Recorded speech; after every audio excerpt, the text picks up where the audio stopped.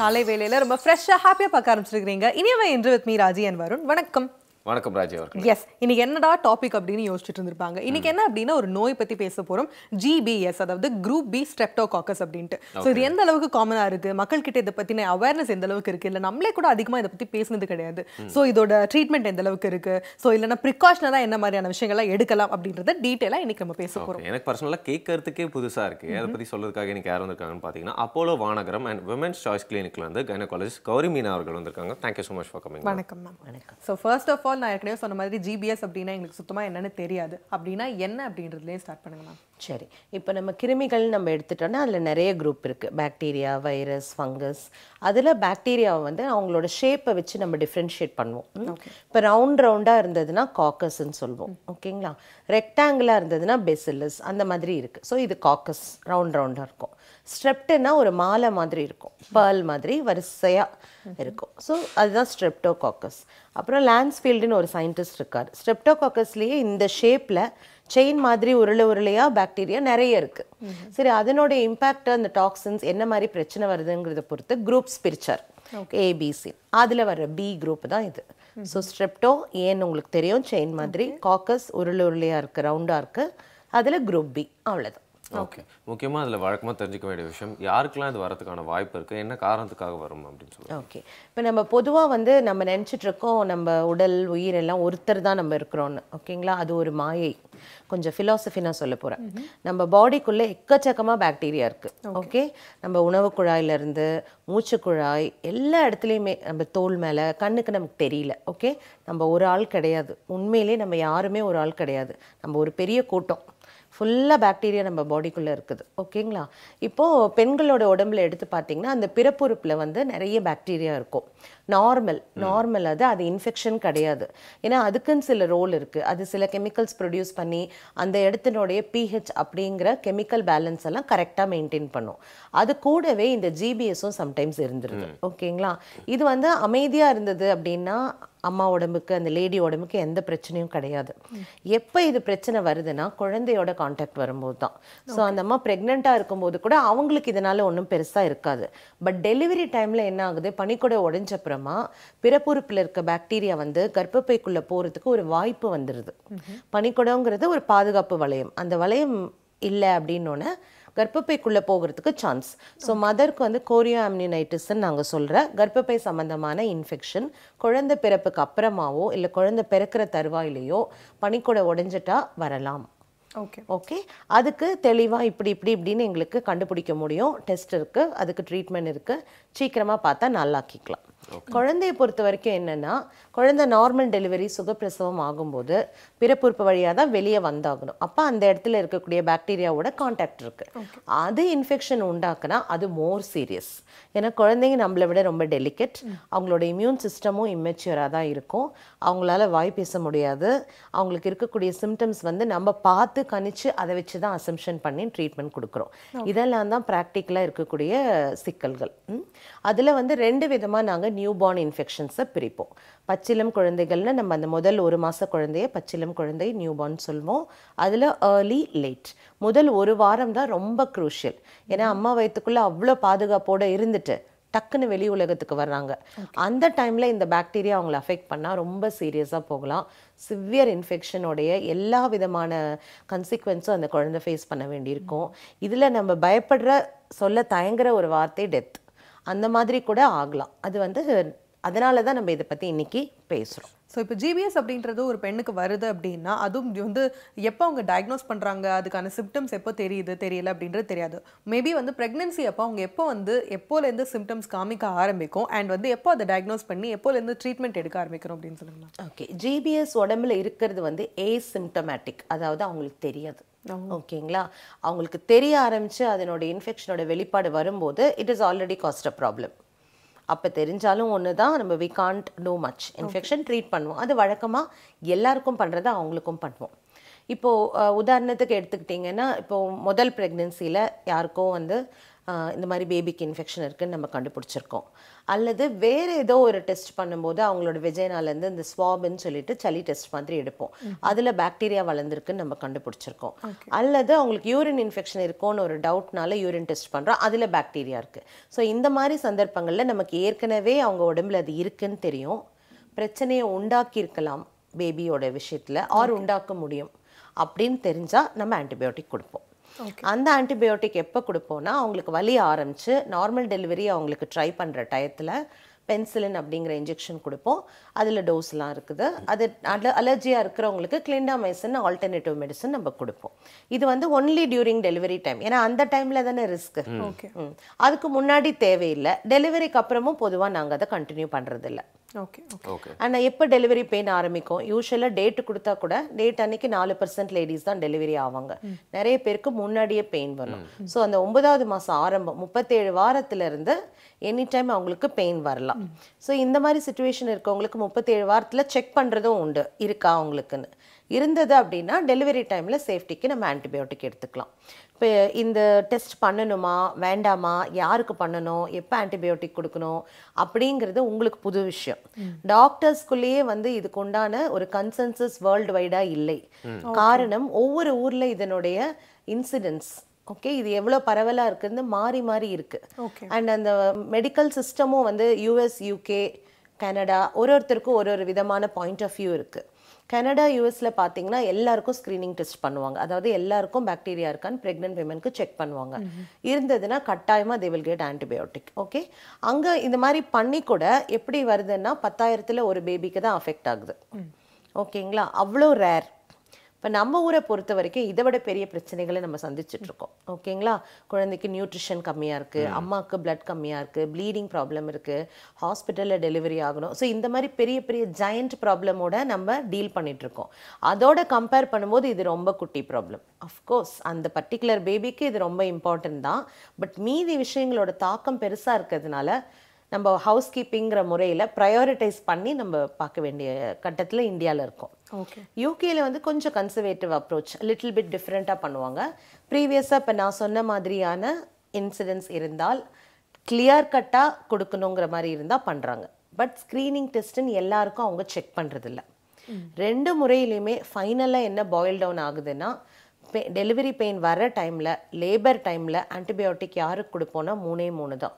யூரினில் bacteria இருக்கணும் முதல் குழந்தைக்கு பிரச்சனை வந்திருக்கணும் அப்படிங்கிற ஹிஸ்ட்ரி இருக்கணும் அல்லது நமக்கு தெரியணும் அந்த மாதிரி பாக்டீரியா வெஜைனால ஏதோ ஒரு டெஸ்ட் பண்ணும்போது கண்டுபிடிச்சிருக்கோம். ஆனால் அதை நாமளாக வலுக்கட்டாயமாக எல்லாருக்கும் பண்ணுறது கிடையாது. இதுதான் நம்ம இந்தியாவில் ஃபாலோ பண்ணுறோம் ஓகே அண்ட் நீங்கள் சொல்கிறப்போ இதுக்கு வந்து ஜெனட்டிக்கலாக வந்து வரக்கூடிய ப்ராப்ளமாக இருக்குமா அப்படிங்கிற சந்தேகம் ஏற்படுது.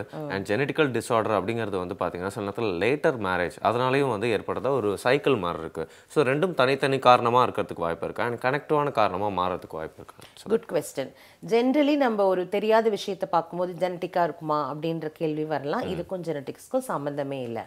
அதே மாதிரி லேட் மேரேஜுக்கும் இதுக்கும் சம்மந்தமே கிடையாது. இது எந்த டைம் வேணால் யாருக்கு வேணால் வரக்கூடிய ஒரு காமனான விஷயம்தான். ஸோ மேம் நீங்கள் சொல்லியிருந்தீங்க டெலிவரி அப்போ வந்து குழந்தைங்களுக்கு வந்து பாதிக்கிறதுக்கு அம்மாக்கு இருந்துச்சு அப்படின்னா அந்த பாக்டீரியா வந்து அவங்களுக்கு ட்ரான்ஸ்ஃபர் ஆகிறதுக்கு வாய்ப்புகள் இருக்குது அப்படின்ட்டு. ஸோ குழந்தைங்களுக்கு என்ன மாதிரி பாதிப்புகள்லாம் வந்து உண்டாகுது? இதோட வீரியம் எந்த அளவுக்கு போகுது அப்படின்னு சொல்லுங்க மேம் இப்போ நான் சொன்னது வந்து பத்தாயிரத்தில் ஒரு பாப்பாக்கு தான் வரும். ஸோ மீதி தொள்ளாயிரத்தி தொண்ணூற்றி ஒம்பது பாப்பாக்கு வராது. ஓகேங்களா ஸோ அதனால எல்லா அம்மாங்களும் பயந்துக்கணும்னு இல்லை. முதல் குழந்தைக்கு வந்திருந்தாலும் ஃபர்ஸ்ட் ப்ரெக்னென்சி பாப்பாக்கு வந்தால் கூட திருப்பி அது நடக்கிறது ஃபிஃப்டி பர்சன்ட் சான்ஸ் ஸோ எல்லாருக்கும் வரணும்னு இல்லை. ஸோ அந்த பயத்தை மனசுலேருந்து எடுத்துக்கணும். பொதுவாக நாங்கள் பிறந்த குழந்தைங்கள எப்படி பார்ப்போமோ அந்த மாதிரி பார்த்தாவே நம்மளால பிக்கப் பண்ண முடியும். ஒன்று குழந்தை வந்து பால் குடிக்கிறதுல கொஞ்சம் கஷ்டம் சோர்வு இருக்கலாம். பட் நான் சொல்கிற எல்லாத்தையுமே அந்த கான்டெக்ஸ்டில் வச்சு தான் நம்ம பார்க்கணும். ஏன்னா பிறந்த குழந்தைங்க பால் குடிக்க கற்றுக்கிறதுக்கு டைம் ஆகும். ஸோ அந்த நார்மல் ப்ராசஸை தப்புன்னு நம்ம நினச்சிடவும் கூடாது. இன்னொன்று பாடி டெம்பரேச்சர் குறையலாம். பேபிஸ்க்கு யூஸ்வலாக ஃபீவர்னு அதிகமாக வராது. குறைஞ்சிரும் டெம்பரேச்சர். ஆப்போசிட்டாக ரியாக்ட் பண்ணுவாங்க. இன்னொன்று யூரின் சரியாக போக மாட்டாங்க ஏன்னா பாடியில் ஃபங்க்ஷன்ஸ் கம்மியாக இருக்கு. சில குழந்தைங்களுக்கு ஃபிட்ஸ் மாதிரி வரும். சில குழந்தைங்களுக்கு ஜாண்டிஸ் மாதிரி தெரியும். நிறைய வேரியேஷன்ஸ் இருக்கு. இப்போ நம்ம அடல்ட்டுக்கு வரக்கூடிய ஃபீவர் மாதிரியான விஷயங்களும் குழந்தைக்கு வர்றதும் கம்ப்ளீட்லி டிஃப்ரெண்ட் ஸோ எனிவே அவங்க டெலிவரி அனுப்புற உடனே நம்ம பாப்பாவை வீட்டுக்கு அனுப்ப போகிறதில்ல குறைஞ்சபட்சம் நாற்பத்தெட்டு மணி நேரம் ஹாஸ்பிட்டலில் இருப்பாங்க. டாக்டர்ஸ் நர்சஸ் நாங்கள் பார்த்துட்டு கண்காணிச்சுட்டு தான் இருப்போம். எல்லாமே ஃபீடிங் ஓகே யூரின் ஃப்ரீயாக போகுது குழந்தை. மோஷன் போயிட்டாங்க. அவங்களுக்கு நியூ பார்ன் ஸ்க்ரீனிங்ன்ற பிளட் டெஸ்ட் பண்ணிட்டோம். வேக்சின்ஸ் கொடுத்துட்டோம். ஸோ இந்த மாதிரி செக்லிஸ்ட் நாங்கள் வச்சுருக்கிறோம். அதெல்லாம் பண்ணிட்டு சேஃப்னா தான் வீட்டுக்கு அனுப்புவோம். பட் க்ரூஷியல் டைம் என்னன்னா வீட்டுக்கு போன அப்புறம் என்ன நடக்குது? ஏன்னா வீட்டுக்கு போன அப்புறம் அவங்களுக்கு அந்த சூப்பர்விஷன் கிடைக்கிறது இல்ல அண்ட் வீட்டுக்கு போனோன்னா இன்னொன்று எக்ஸ்ட்ராவாக நிறைய பேர் அட்வைஸ் நல்ல எண்ணத்தில் தப்பு தப்பாக சொல்லுவாங்க நம்ம ஊரில். ஓகே அது யாருடைய தப்பும் இல்லை நம்ம பேரண்ட்ஸாக நம்ம என்ன எடுத்துக்கிறோங்கிறது இருக்கு. நான் பொதுவாக என்னோட பேஷண்ட்ஸ்க்கு என்ன சொல்லுவேன்னா குழந்தைங்களை பொறுத்த வரைக்கும் it's better to overreact sometimes அதனால் ஆங்ஸைட்டி வரும். சின்ன விஷயத்தை கூட பெருசு பண்ணி நம்ம டென்ஷன் ஆகிறது உண்டு பட் அது பரவாயில்ல. பிரச்சனையை வந்து வளர்த்தி அதுலேருந்து குழந்தைய காப்பாற்ற முடியாமல் போகிறத விட ஓவர் ரியாக்ட் பண்ணுறது இட்ஸ் ஓகே ஸோ வீட்டுக்கு போகும்போது நாங்கள் சொல்லி கொடுப்போம். பாப்பா நல்லா அழுதுட்டு பிங்காக இருக்குது யூரின் ஃப்ரீயாக போகுது மோஷன் போகுது நல்ல பால் குடிக்குதுன்னா அது ஹாப்பி சைல்டு ஹெல்த்தி சைல்டு அந்த குழந்தைய பற்றி கவலைப்பட வேணாம். அதுக்கு கணக்கு இருக்குது நாலு மணி நேரத்துக்கு ஒரு தடவையாவது பால் குடிக்கணும். ஒரு நாளைக்கு இருபத்தி நாலு மணி நேரத்தில் மினிமம் சிக்ஸ் டைம்ஸ் வந்து அந்த டயப்பர் நனையணும். இப்போ வந்து டயப்பர்லாம் வந்து நல்லா அப்சார்ப் ஆயிடுது யூரின் தொட்டு பார்த்தா தெரியாது. போகாத மாதிரியே இருக்கும். ஸோ நான் சம்டைம்ஸ் தொட்டு பாருங்க புழிஞ்சு பாருங்கன்னு கூட சொல்லுவேன். நமக்கு தெரியணும் உண்மை அதனால. ஓகே ஸோ இந்த சின்ன சின்ன விஷயங்கள் குழந்தையோட பிஹேவியர் பார்த்து நம்ம கண்டுபிடிக்கலாம்.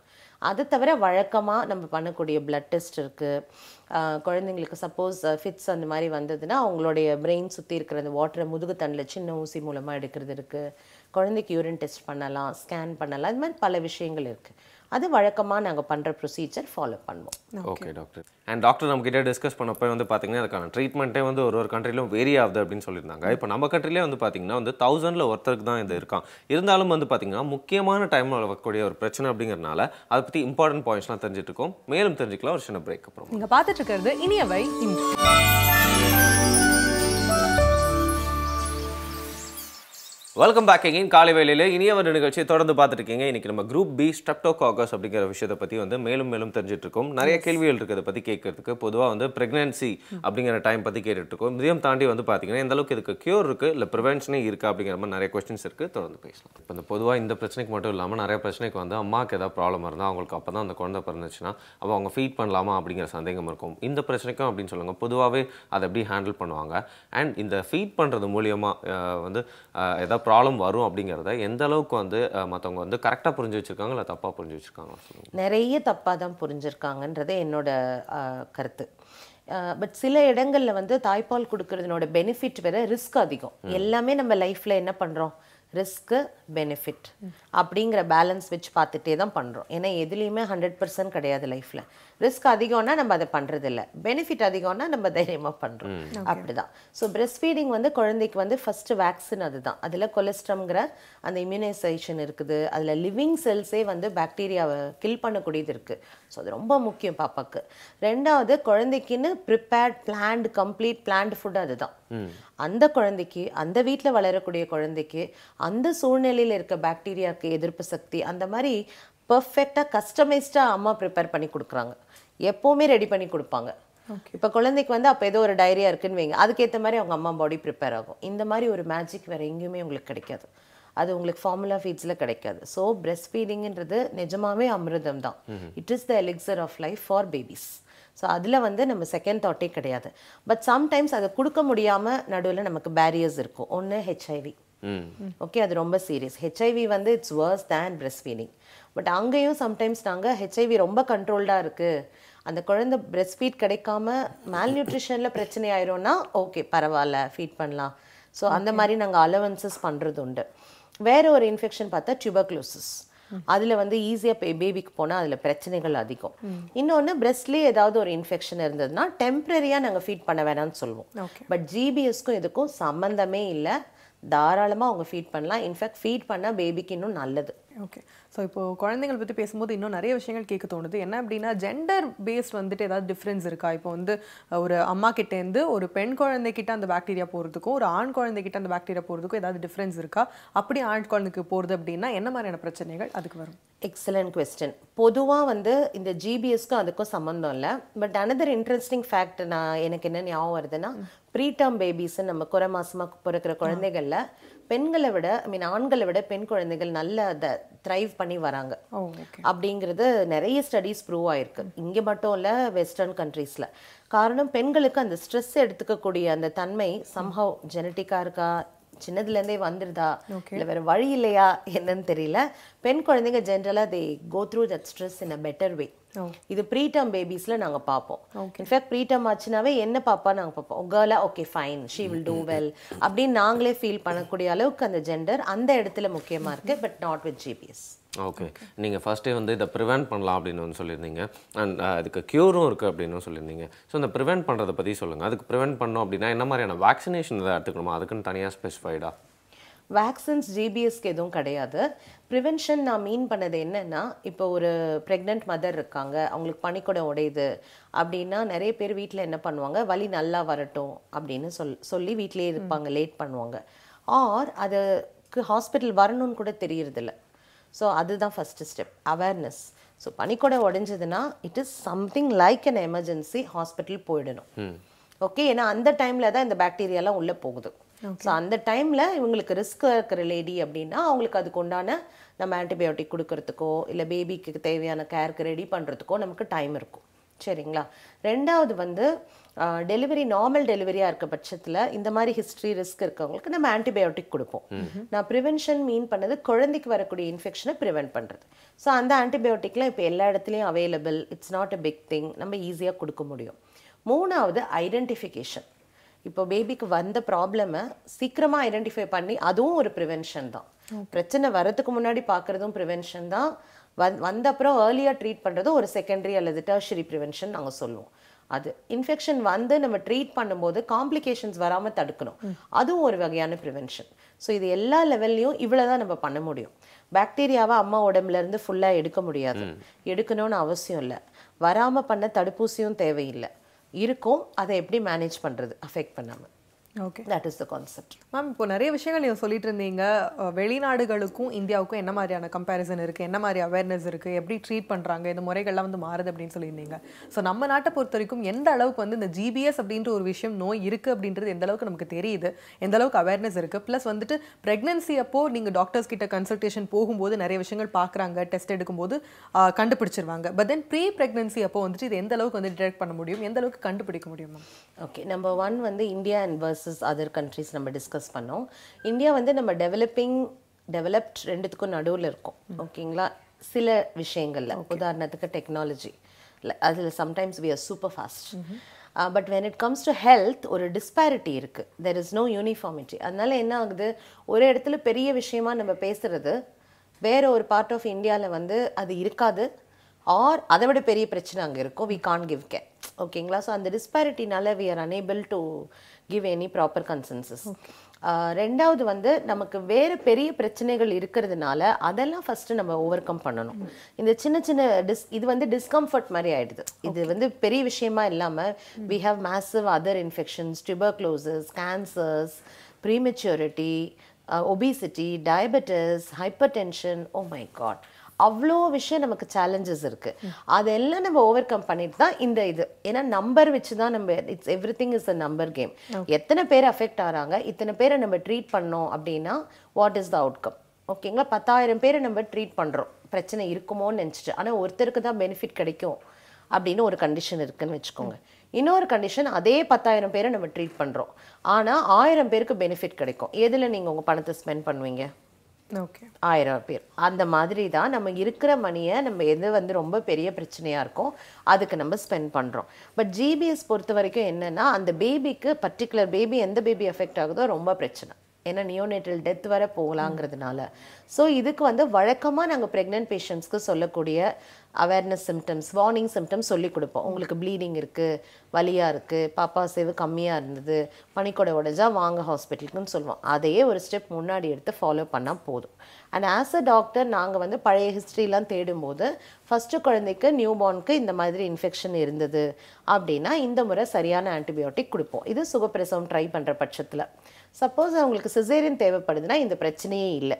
ஆனால் இந்த ரீசனுக்காகலாம் சிசேரியன் பண்ணக்கூடாது. ஓகே ஓகேங்களா ஏன்னா அந்த ஏரியா காண்டாக்டே கிடையாது. வயிற்றில் மேலே இருந்தால் நம்ம பாப்பாவை எடுக்க போகிறோம் ஸோ சிசேரியன் பண்ணுற பட்சத்தில் இது தேவையில்லை. பட் இந்த ரீசனுக்காக சிசேரியன் பண்ணவும் கூடாது. ஆன்டிபயோட்டிக் கொடுக்கணும். இதுதான் ப்ரெக்னன்சி டெலிவரி அந்த டயத்தில் நம்ம பண்ணக்கூடியது. ப்ரீ ப்ரெக்னன்சியாக இதை பற்றி நம்ம கவலையே பட வேணாம். அந்த டைம் நம்ம focus is entirely different haemoglobin சரியாக இருக்கா? தைராய்டு கரெக்டாக இருக்கா? அவங்களுக்கு சுகர் இல்லை.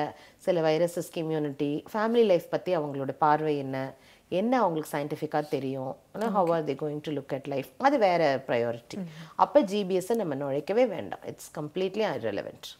ஓகே. நிச்சயமாக வாழ்க்கையில் வந்து எவ்வளோ பகுதிகள் இருந்தாலும் வந்து பார்த்தீங்கன்னா ஒரு பெண்ணுக்கு அப்படிங்கிறவங்க அவங்களுக்கு அந்த ப்ரெக்னன்சி டைம் தான் ரொம்ப முக்கியமான டைம் அப்படின்னு எடுத்துக்கலாம். அண்ட் அந்த குழந்தைக்கு பின்னாடி தன்னோட வாழ்க்கையை டிசைட் பண்ண போகிற அந்த டைம் வந்து இன்னும் முக்கியமான டைமாக கூட இருக்கும். ஸோ அதில் வந்து பார்த்தீங்கன்னா இந்த பிரச்சனை குறிப்பிட்ட பிரச்சனையை பற்றி எதனால் வருது அதோட தீர்வு எல்லாமே வந்து தெளிவாக சொன்னீங்க. Thank you so much for time and நன்றி ஸோ இதே மாதிரி நிறைய விஷயங்கள் பார்க்கறதுக்கு இருக்கு. அதுக்கு முன்னாடி ஒரு சின்ன பிரேக் போயிட்டு வந்துடலாம். நீங்க பார்த்துட்டு இருக்கிறது இனியவை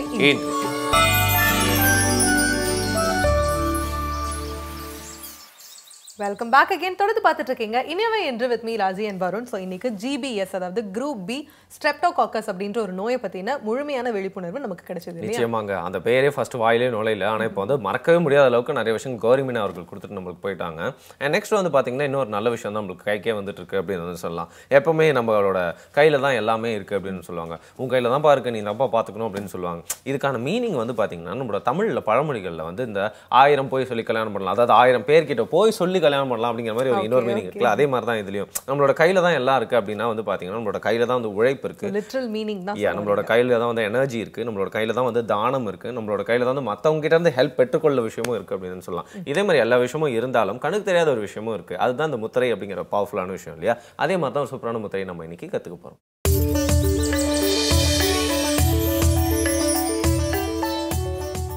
வணக்கம்.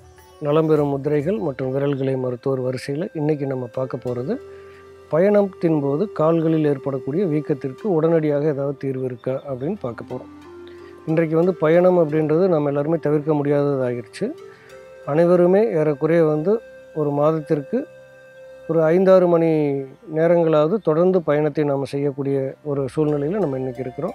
எந்த ஒரு விஷயத்துக்குமே பயணம் அவசியமாயிருச்சு. அப்படி இருக்கும்போது நம்ம உடல்நிலை வந்து அந்த அளவுக்கு வந்து இயல்பாக இல்லாத காரணத்தினால கொஞ்ச நேரம் உட்காந்துருந்தாலே கால் வீக்கம் வந்துடுது தொடர்ந்து வந்து நம்ம சும்மா படுத்துட்டு இருந்தாலே கால் வீக்கம் வர்றவங்களாம் நிறைய பேர் இருக்கிறாங்க. ஏன்னா இன்றைக்கி வந்து உடல் அசைவுகள் அப்படின்றது நம்ம முறையாக கொடுக்கறது இல்லை பழைய காலத்தில் வந்து நம்மளுடைய வீட்டு வேலைகளாகட்டும் நம்மளுடைய சொந்த வேலைகளாகட்டும் எல்லாமே ஒரு உடற்பயிற்சியாக வடிவமைக்கப்பட்டிருந்தது. உதாரணத்துக்கு காலையில் எந்திரிச்சு காலை கடன் கழிப்பதிலிருந்து நாம் குளிப்பதற்கு ஆற்றுக்கு போய் கிணத்துல போய் குளிச்சுட்டு வர்றதுலேருந்து சாப்பிட உட்காரக்கூடிய முறைகள்லேருந்து எல்லாமே ஒரு உடற்பயிற்சியாக இருந்துச்சு. அதனால் எந்த ஒரு உடற்பயிற்சி செய்யாட்டியுமே நாம் வந்து ஆரோக்கியமாக இருந்தோம். ஆனால் இன்றைக்கி வந்து எல்லாமே நம்ம மாற்றி அமைக்கப்பட்டதுனால உடற்பயிற்சி என்று தனியாக தேவைப்படுவது. ஆனால் அந்த இடைப்பட்ட வயதினருக்கு என்னென்னா அந்த உடற்பயிற்சியும் கிடையாது. வாழ்க்கை முறையில் பழமையான முறையும் நம்ம பின்பற்றுறதில்லை. அதனுடைய விளைவு சின்ன சின்ன வேலை செஞ்சால் கூட நமக்கு உடம்பு அசௌரியம் ஏற்படுது.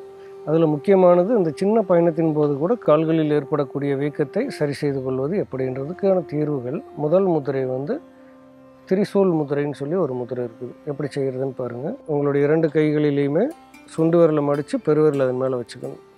இது வந்து திரிசூல் முதிரை இந்த மாதிரி செய்யணும் பாருங்கள் இரண்டாவது முதிரை கோபுர முதிரை அப்படின்னு சொல்கிறது உங்களுடைய இரண்டு கைகளிலையுமே பெருவிரலை உள்ளே வச்சு நான்கு விரலை மூடிட்டு கடைசி இரண்டு விரல் மோதிர விரலும் சுண்டு விரலையும் நீட்டி இந்த மாதிரி தொடணும். இது கோபுர முத்திரையின் பேர் இந்த மாதிரி இருக்கும். இது இரண்டாவது முத்திரை.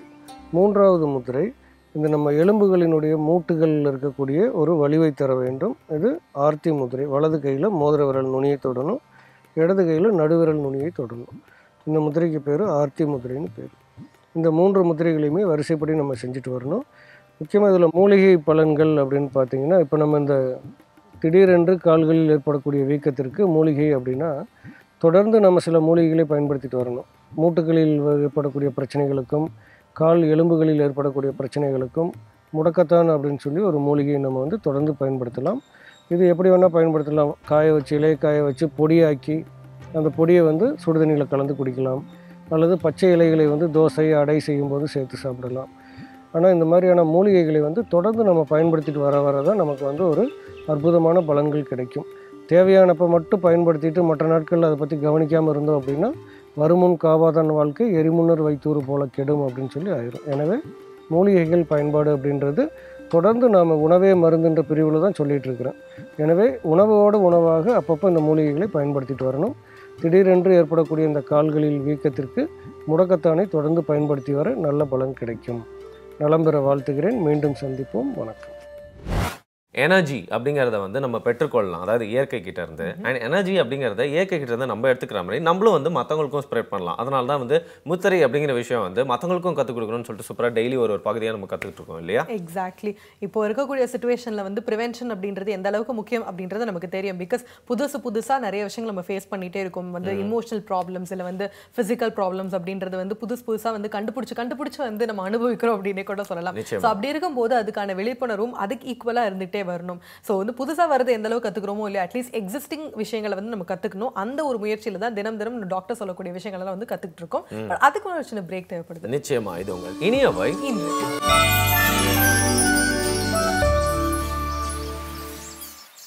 வெல்கம் பேக் அகைன் தொடர்ந்து பார்த்துட்டு இருக்கீங்க இனியவை என்று with me Raji Varun. So நான் ஏற்கனவே சொன்ன மாதிரி இன்னைக்கு அகைன் டாக்டர் வந்துட்டு ஒரு புதுமையான ஒரு விஷயத்தை எடுத்துட்டு வந்து அது என்ன பிரச்சனை இதுக்கு என்ன சொல்யூஷன் இருக்கு அப்படின்றத டீட்டெயிலாக எக்ஸ்பிளைன் பண்ண போறாங்க இல்லையா? கிரேட் ஸோ டாக்டர் இன்னைக்கு என்ன சொல்ல போறாங்க அப்படிங்கிறத பார்க்கலாம். அதுக்கப்புறம் நான் உங்களுக்கு ஒரு விஷயம் சொல்றேன்.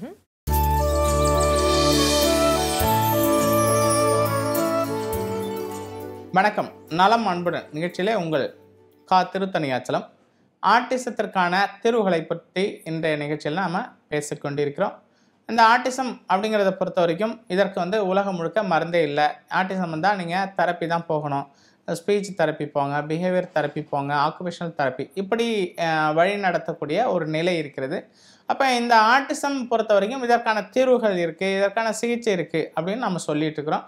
இப்போ இந்த ஆட்டிசம் இருக்குது நான் முன்னாடி சொன்ன நிறைய அறிகுறிகளை சொன்னேன். இந்த மாதிரி அறிகுறி இருக்குது அப்படின்னா ஒரு மூன்று வயசுக்குள்ளே அந்த குழந்தைகளை நம்ம சிகிச்சை கொண்டு வந்தாங்கன்னா மேக்ஸிமம் ஒரு 90 95% ஃபைவ் பர்சன்ட் ஏறக்குறைய மற்ற நார்மல் குழந்தைகளைப் போலவே இந்த குழந்தைகளும் மாற்றக்கூடிய அளவிற்கு வாய்ப்புகள் இருக்குது இந்த சிகிச்சையை மருந்துகளை எடுத்துக்கொள்வதன் மூலமாக மாற்றிவிட முடியும். அதே மாதிரி வந்து இந்த மருந்துகளை பொறுத்த வரைக்கும் நம்ம கொடுக்குற இந்த மருந்தை பொறுத்த வரைக்கும் காயக்கல்ப தெரப்பியாக இதை நம்ம கொடுக்குறோம்.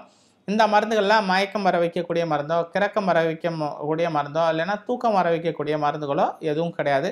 இது முழுக்க முழுக்க முழுக்க மூலிகை சாரங்களை கொண்டு தயாரிக்கப்படுகின்ற மருந்து.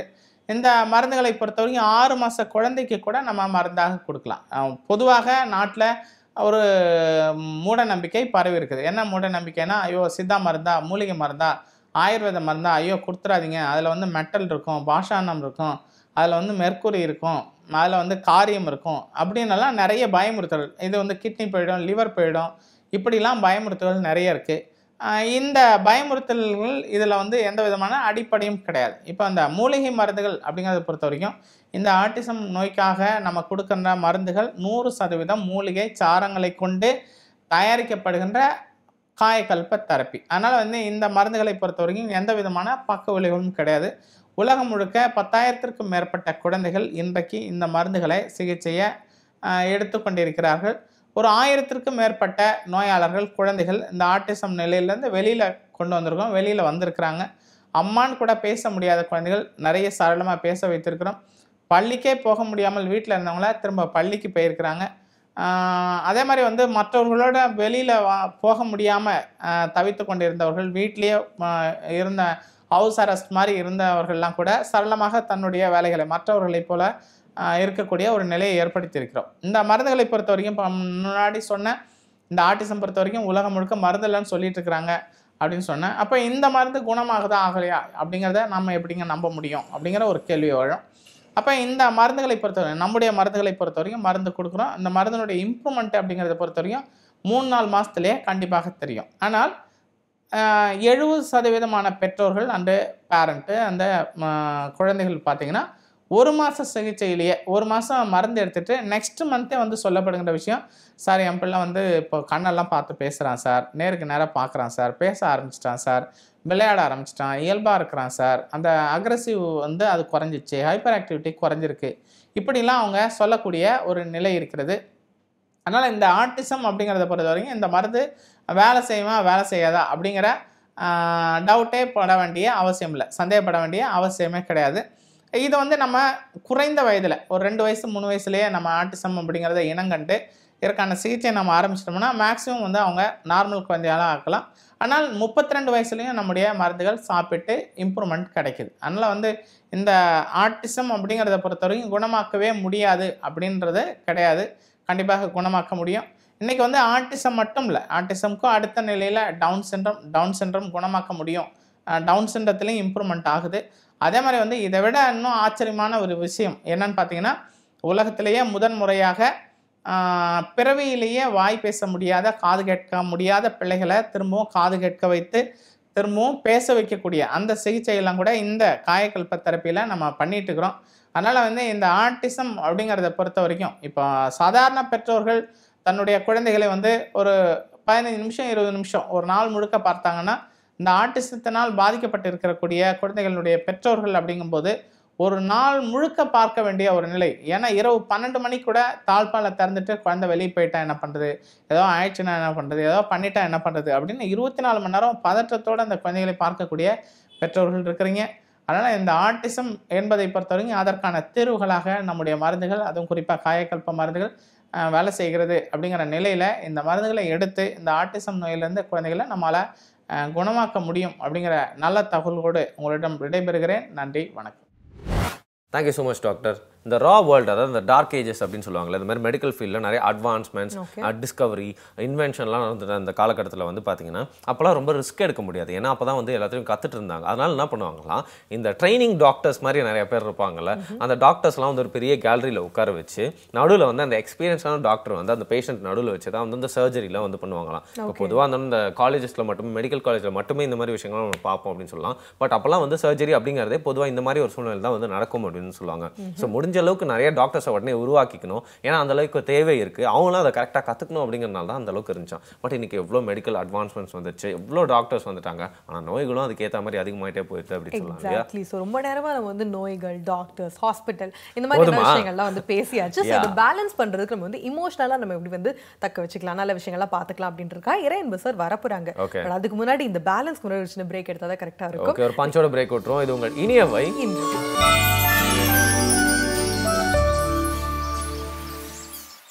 வெல்கம் பேக் அகைன் தொடர்ந்து பார்த்துட்டு இருக்கீங்க இனிவே இன்று with me Raji and Varun. So அடுத்த என்பது சார் வரப்போறாங்க.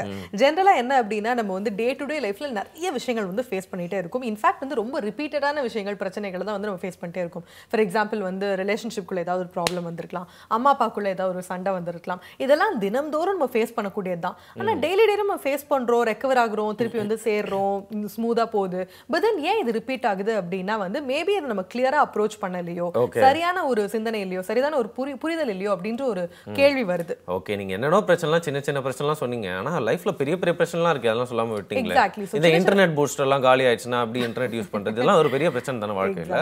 இந்த மாதிரி சின்ன சின்ன பிரச்சனையில இருந்து பெரிய பெரிய பிரச்சனையும் எப்படி பார்க்கணும் அதை எப்படி எதிர்கொள்ளணும் அப்படின்றது தான் இன்னைக்கு என்ன டாபிக் எடுத்து வந்திருக்காங்க அப்படின்றத பார்க்கலாம்.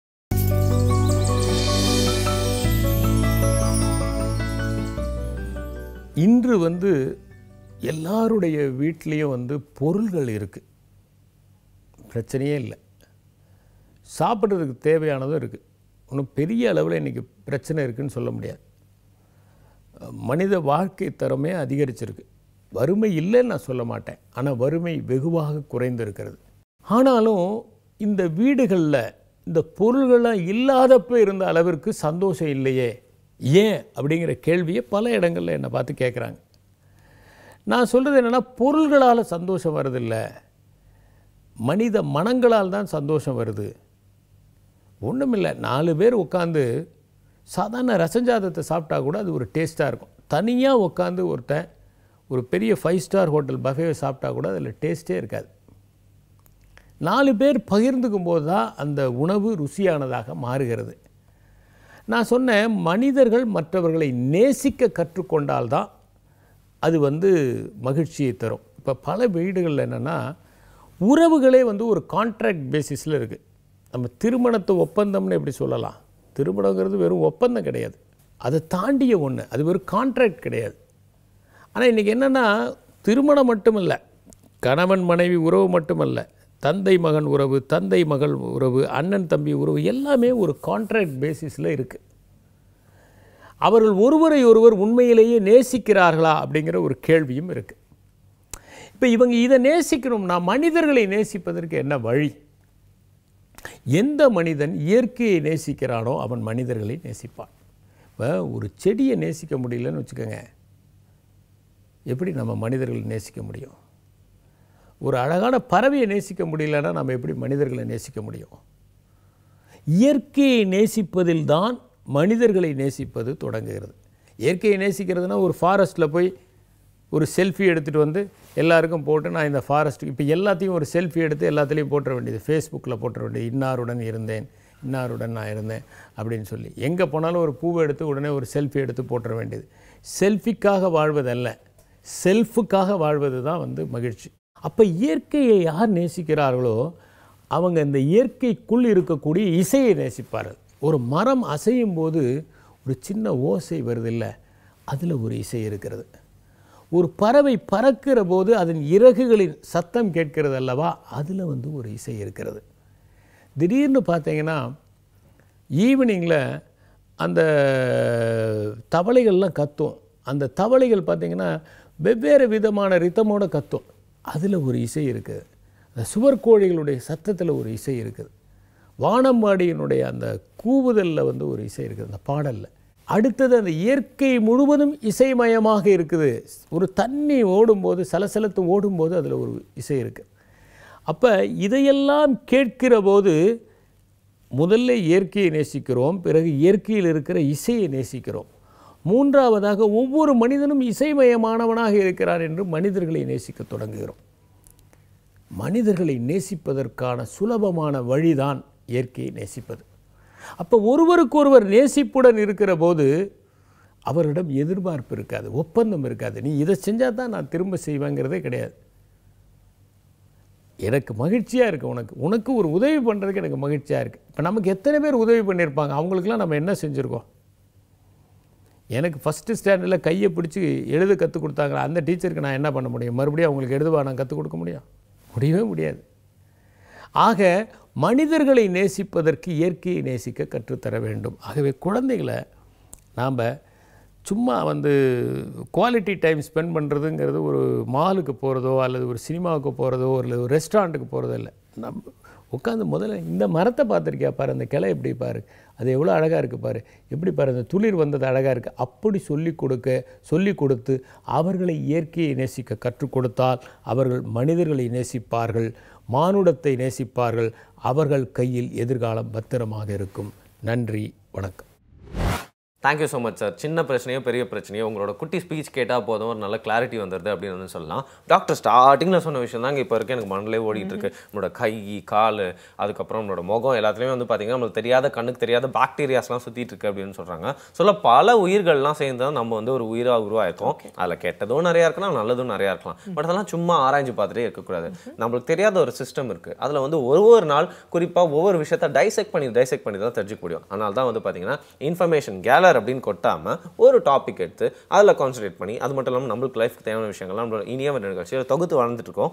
இதே மாதிரி விஷயத்த டெய்லி வந்து உங்களுக்கு கொடுக்கறதுக்கு நாங்கள் மறக்க மாட்டோம். நீங்களும் பார்க்க மறந்துடாதீங்க. ஓகே இதே மாதிரி நாளை காலையில் எட்டு மணிக்கு டான்னு வந்துருங்க. Until then is bye from Raji and Varun நீங்க பார்த்துட்டு இருக்கிறது இனியவை இன்று.